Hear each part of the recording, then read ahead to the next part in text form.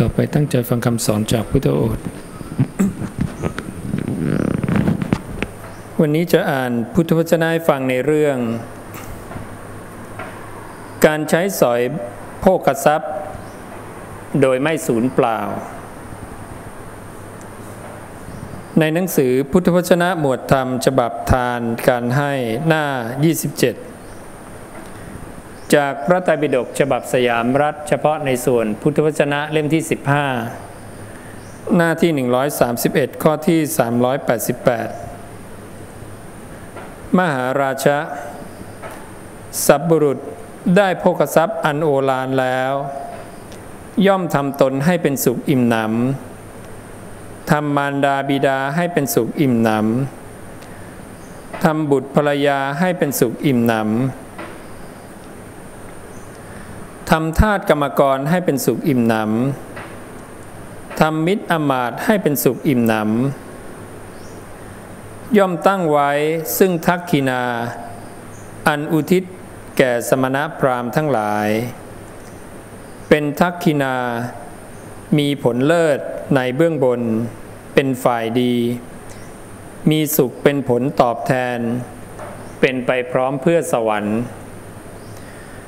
เมื่อเขาบริโภคโภกทรัพย์เหล่านั้น โดยชอบอยู่อย่างนี้ พระราชาก็ไม่ริบโภกทรัพย์เหล่านั้นไปได้ โจรก็ไม่นำไปได้ ไฟก็ไม่ไหม้น้ำก็ไม่พัดไปได้ ทายาทอันไม่เป็นที่รัก ก็ไม่ยื้อแย่งไปได้ มหาราชะโภกทรัพย์เหล่านั้น อันเขาบริโภคอยู่โดยชอบอย่างนี้ ย่อมถึงซึ่งการได้บริโภคใช้สอย โดยไม่สูญเปล่า มหาราชะเปรียบเหมือนในที่ไม่ไกลจากบ้านหรือนิคม มีสะโบกกรณี มีน้ำใสจืด เย็นสะอาด มีท่าขึ้นลงดี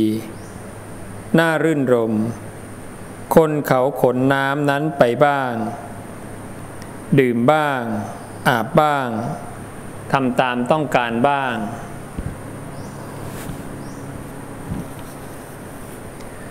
มหาราชะ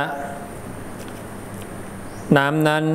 อันเขาบริโภคใช้สอยอยู่โดยชอบอย่างนี้ ย่อมถึงซึ่งการได้บริโภคใช้สอยโดยไม่สูญเปล่า นี้ฉันใด มหาราชะสับบุรุษได้โภกทรัพย์อันโอฬารแล้ว ย่อมทำตนให้เป็นสุขอิ่มหนำทำมารดาบิดาให้เป็นสุขอิ่มหนำทำบุตรภรรยาให้เป็นสุขอิ่มหน